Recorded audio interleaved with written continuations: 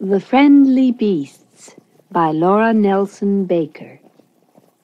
Although it was night, the animals in the stable were not asleep.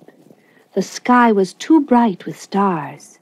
The hills of Judea were sprinkled with a new light, and the wind in the olive trees seemed full of whispers. The sheep in the corner shook his horns. The cow turned her head slowly toward the window where light streamed in on the yellow straw. On the rafters above the stalls, two doves cooed softly. This night was different from all other nights in the year. It was the first Christmas Eve. The beasts had seen the great star in the east. They had heard voices telling them that a Christ child was to be born. They talked about the birth of the child as they waited. The babe will bless us all, said the sheep with a curly horn. His birth will make our stable holy, said the cow, all red and white. Wise men will visit him, said the doves from the rafters high. But what, asked the sheep, will we give him on Christmas morn? Yes, what, cried the cow, can we give him, poor beasts that we are? Oh, how, said the doves, can we please the child sent from on high? The sheep folded his legs and knelt on the stable floor. The cow switched her tail in the darkness and chewed hard on a wisp of hay. The doves on the rafters moved closer together. There was silence in the stable while the animals thought of what they might do. Then from far away came the sound of music. The heavenly hosts, cried the sheep, telling the shepherds about the child, said the cow. Angel music, whispered the doves to one another. The song came into the stable. It filled the air all around. The friendly beasts opened their ears wide to hear. Suddenly, each knew the gift he would give to the Christ child. The star has moved closer, warned the sheep. They will soon be here, said the cow. We must tell of our gifts, said the doves. I, said the sheep with curly horn, will give him my wool for a blanket warm. He'll wear my coat on Christmas morn. I, said the sheep with curly horn. I, said the cow, all white and red, I'll give him my manger for his bed. I'll give him my hay to pillow his head. I, said the cow, all white and red. I, said the dove from the rafters high, I'll coo him to sleep that he shall not cry. We'll coo him to sleep, my mate and I. I, said the dove from the rafters high. The beasts finished their song of gifts and waited. When the stable door opened, they all turned their heads, but it was only the donkey. What gift have you for the Christ child? asked the cow. What will you do for the babe? asked the sheep. Perhaps you too can sing for him, said the doves politely. The donkey stopped in the doorway. He looked behind him at Mary, the mother, and at Joseph, who stood beside her. He lifted his long ears.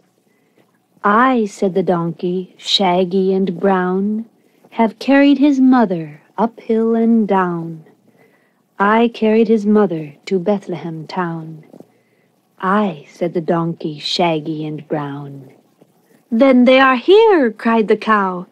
Glory is yours on this wonderful night, bleated the sheep, and the doves murmured, O lovely donkey.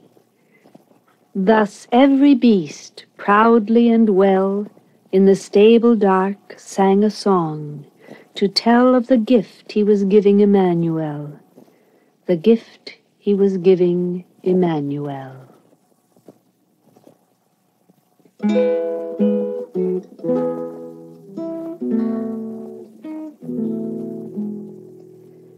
Jesus, our brother, kind and good, was humbly born in a stable rude, and the friendly beasts around him stood. Jesus, our brother, kind and good.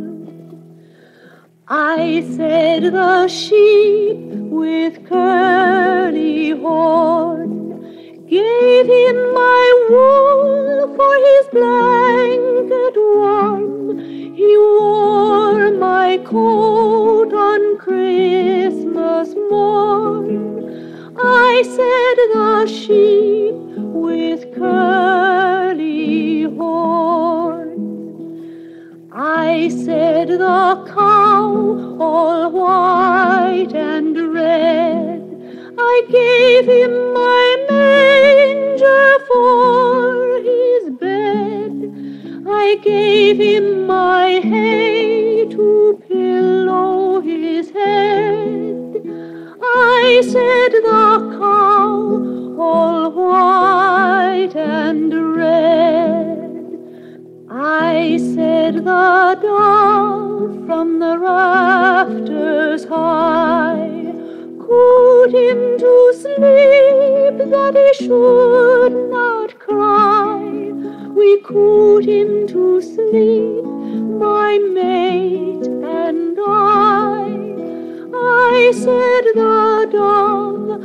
the rafters high.